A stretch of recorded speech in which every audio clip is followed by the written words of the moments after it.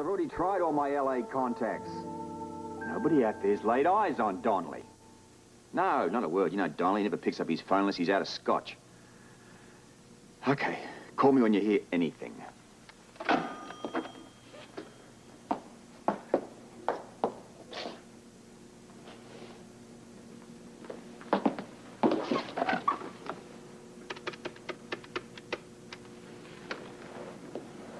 DJ Barney, please. Yeah, Scorpio. Okay. G'day, mate.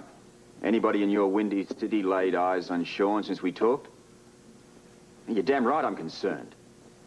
Okay. Well, you call me the minute you hear anything, all right? Pronto. Robert, Po- Polly, please. is that all you can think about is Sean and the WSB? Well, what would you have me think about? I mean, what momentous subject is on your mind? Well, how about me and our marriage? I resent your attitude of marriage being a one-way street. You're reading the signals all wrong. No, I'm not. Look, I have never restricted you or otherwise tried to call the shots. Haven't you noticed little me twiddling my thumbs as you go out? Down the narrow little one-way street. Exactly. Men only. No access. Holly, keep out. Only Robert and Sean admitted. That is nonsense. That's all you can think about is Sean and that bloody organization. The same bloody organization that you've been hustling. Hustling? What would you call it? When Petros Cassadine turned up here, you bothered the life out of Ballantyne so that he'd make you an agent. I broached the subject. Uh, broached. Broach, is that what you call it? You hung on like a bulldog. You even angled to have yourself assigned to Donely. Well, think of it this way. I wanted to be an agent so my husband would pay some more attention to me. That's a devious, underhanded tactic. Well, forgive me my trespasses, O Lord and Master. I resent your accusations. I have never neglected you. Well, that's only because you can't shake me off. I felt like a barnacle of late, or maybe an albatross. Well, you are around my neck. Well, maybe you can't handle marriage anymore. And how did you reach that conclusion? It's so obvious. What makes you think you'd do so hot in the marriage department as a WSB agent? Well, it would be part of my life, but it would not have been my whole life. You would have still been my priority. Look, you do come first with me, and you know that. No, I don't.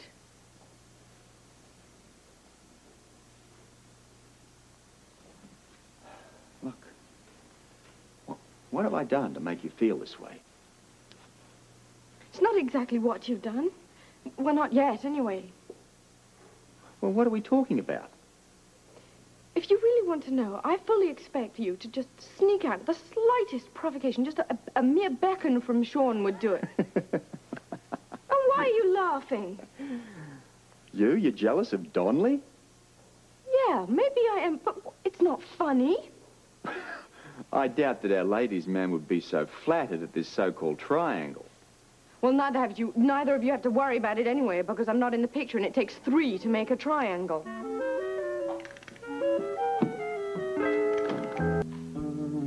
So, now it all comes out. What? You know, this has really been quite enlightening. Well, I'm glad to have educated you. You finally revealed yourself, Madam Scorpio. What do you mean?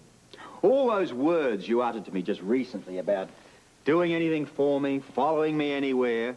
What a lot of rubbish. It's just like Naomi to Ruth. Ruth to Naomi. Whatever. I have just one thing to say to you. Well, actually, to ask you. Well, don't be shy. Are you envious of Sean? That's a stupid question. Don't evade it. It's the truth, isn't it? You absolutely, positively green with envy that Sean can do whatever he wants and go wherever he pleases whenever he wants to. That's your interpretation. Just because it's mine doesn't mean that it's wrong. It's without foundation. I know what I see. What's that? I see your big blue eyes just light up when you get into a huddle with Sean. And then the light goes out when he goes away on his merry way on his own without you. You're being super sensitive. But it's the truth, isn't it? Don't lie to me, Robert. Me? Yes, you. I don't lie. Now, you just don't answer the question. The answer, the answer happens to be self-evident. I mean, wouldn't anybody appreciate or like the sort of freedom that Sean has? So you do want to join the WSB again? That's ridiculous. I mean, I happen to be married. What are you doing? I'm going out. All right. Um, where are you going? Well, Don't think that I'm evading the question, just answer it. and I don't want to lie. All right, then again, where are you going? Wherever I feel like. Holly. At least allow me some freedom, too. Maybe... Maybe she's at the spa. Maybe not. Where else? Celia's. Right. Holly. Holly. Oh, nice seeing you, too. this better be important. Why else would I bother you? Look, Robert, I'm going after an obstruction of justice charge against Ginny Blake. And I need your backup. You came over here just for that? Are you and the judge doing a little dance together, or what?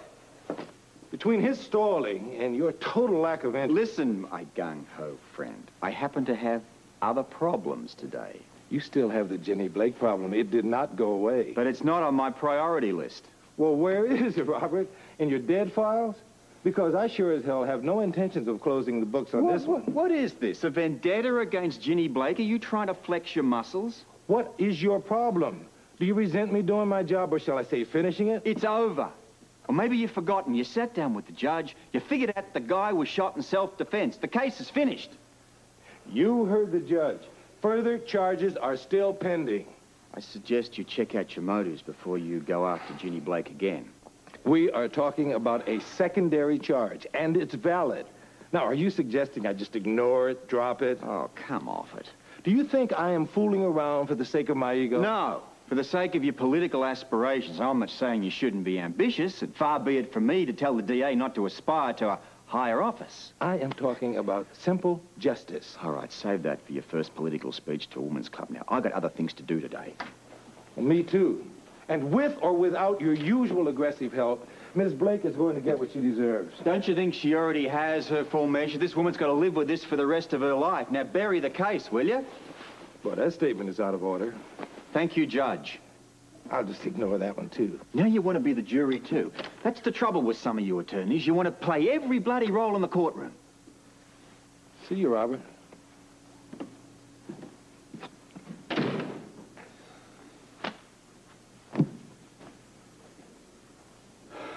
Holly.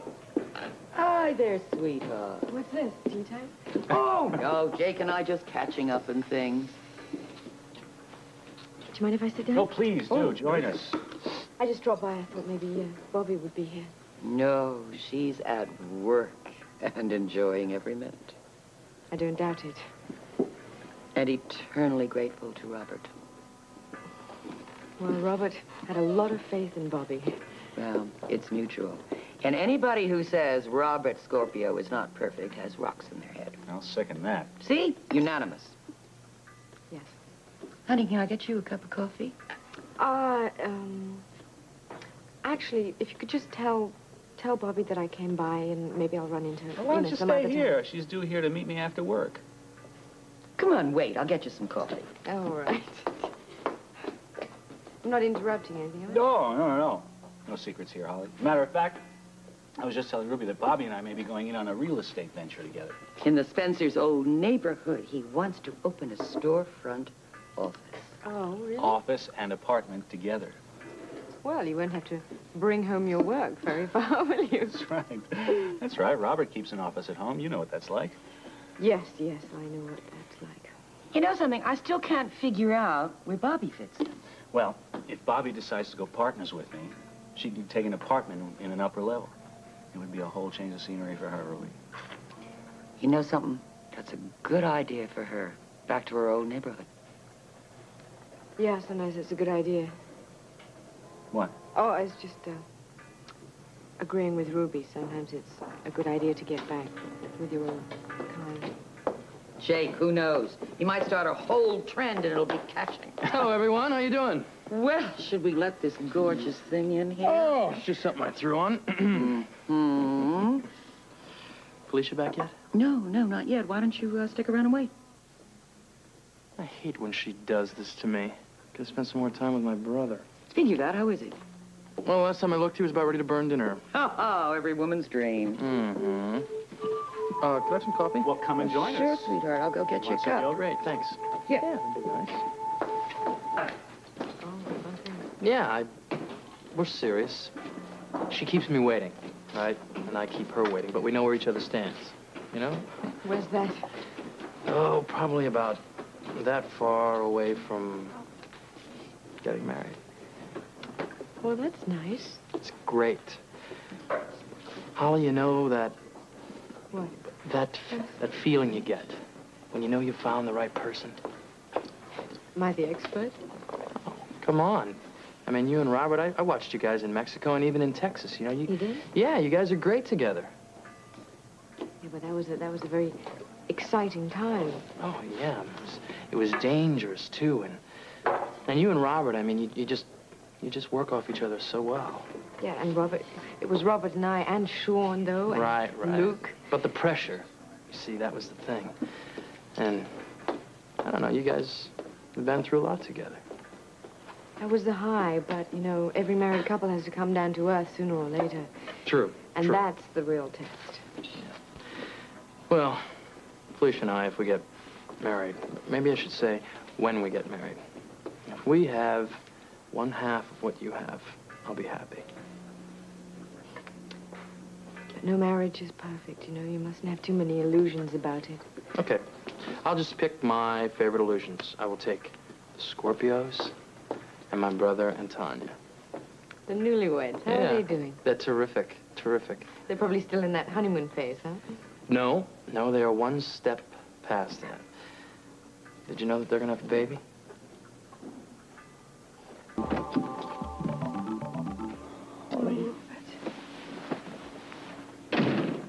Sorry, darling. So am I. So am I. No more scenes like that, I promise. On the other hand, it makes for a rather delicious homecoming. Now, where were you? I was learning a very good lesson. Me too. Like that you're pretty hard to track down. You didn't try Kelly's. Kelly's? I didn't think of it. I was talking to a young man who is very much in love. Oh? Who's that? Frisco. Guess who his role models are for perfect marriage? Well, I can think of some. Maybe one, two. Well, Tony and Tanya. They're newlyweds. They don't know any better. And us. Imagine that. He was very impressed with our marriage. Me too. I hope you didn't try to discourage him. Well, I told him that every marriage has ups and downs. Mm-hmm. No reason to uh, remain a bachelor forever. Do you mean that? If you'd seen how miserable I'd been here today, you wouldn't even have to ask. I'm so sorry for rushing out like that. I'm glad you didn't get any further than Kelly's. We do have a marvelous marriage. And we don't need Frisco to tell us that, do we? No.